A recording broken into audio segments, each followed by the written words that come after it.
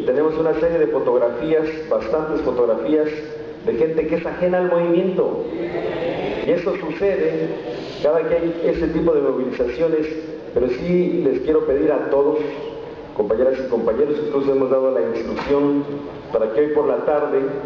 las marchas que estábamos haciendo por la tarde en el Zócalo las suspendamos hasta que no disputamos el lunes con los representantes y nos organicemos muy bien para evitar que se nos infiltre gente ajena al movimiento y nosotros nos deslindamos categóricamente de gente que esté haciendo daño a los vehículos y demás.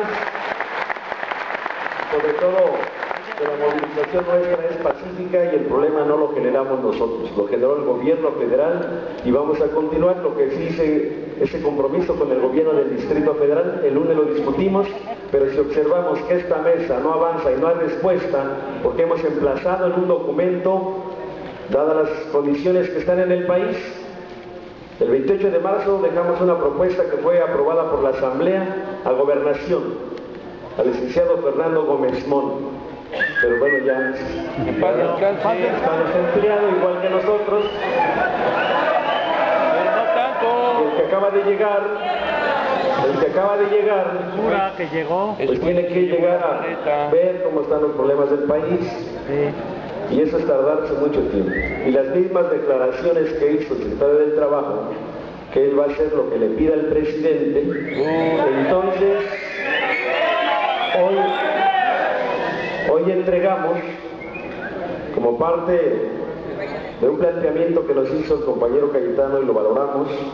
hoy entregamos un documento en donde estamos emplazando al presidente, a Felipe Calderón, porque es el que tiene que resolver este conflicto.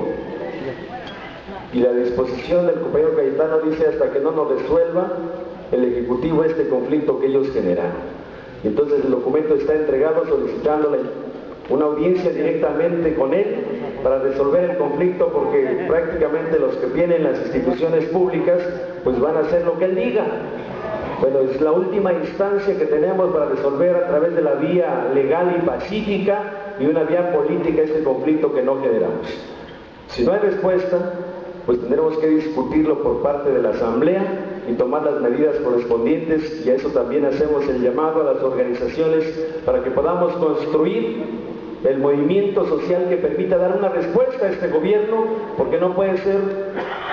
que hoy hasta la Corte le dé facultades que no tiene y poner en riesgo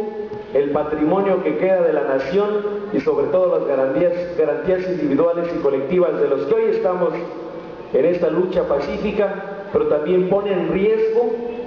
pues el futuro de miles, de miles de mexicanos que no queremos que sean pisoteados ni sus derechos y tengan un patrimonio también del que vivir, al igual que los electricistas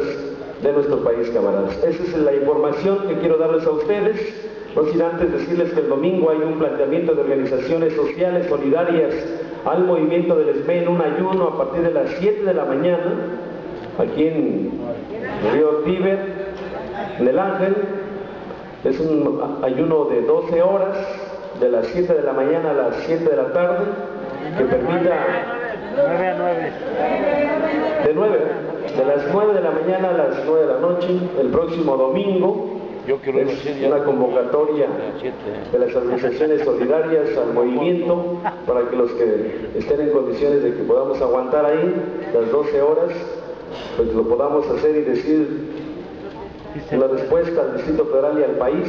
de que es pacífico nuestro movimiento, pero sobre todo en el marco de la legalidad exigimos el respeto a nuestros derechos. Eso es lo que tenemos para estos días el domingo y el lunes la comisión de trabajo a las 9 de la mañana para organizarnos perfectamente y cuidar nuestro movimiento que creemos que vamos en el rumbo correcto para que nadie se vaya a liquidar compañeras y compañeros. No queremos migajas, queremos nuestro empleo, nuestro contrato colectivo con el Sindicato Mexicano de Electricistas. Muchas gracias compañeras y compañeros.